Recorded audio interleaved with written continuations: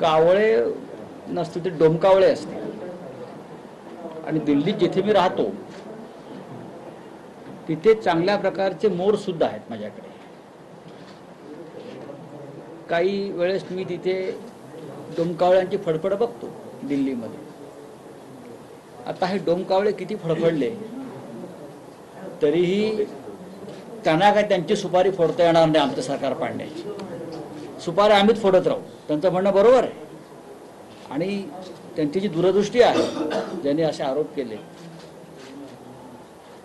त्यांनी एक लक्षात घेतलं पाहिजे तुम्ही संजय राऊतांवरती किती आरोप करा किती चिकलफेक करा. पण माझ्या पाठीचा कणा आणि मन फार खंबीर आहे.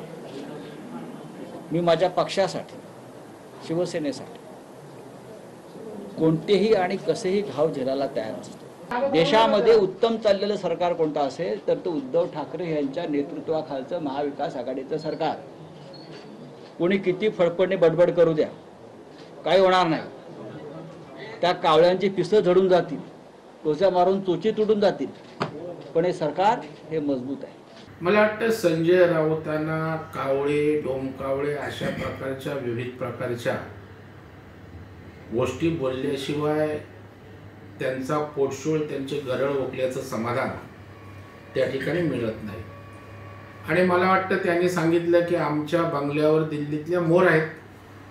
मला वाटतं रोज त्यांना मोरांचं दर्शन होत असेल. आणि मग आपल्याकडे म्हणणं आहे ना मोर नाचला की लांडोर पण नाचते तशा प्रकारे संजय राऊत यांचा थैतयाट त्या ठिकाणी नाचण्याचा रोज आपल्याला पाहायला मिळतो. संजय राऊत यांनी आपला कणा शिल्लक आहे का याचा विचार करावा.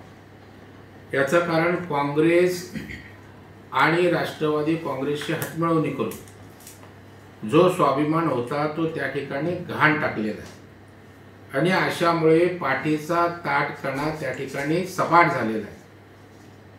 याचं भान त्या ठिकाणी राऊत साहेबांना दुर्दैवानं राहिलेलं नाही. आणि त्याच्यामुळं आपल्या स्वाभिमानाच्या संदर्भात पाठीच्या ताटकण्याच्या संदर्भात महाराष्ट्रातील हिंदुत्व प्रेमी प्रेमी आणि स्वाभिमानी जनतेला नीट माहीत.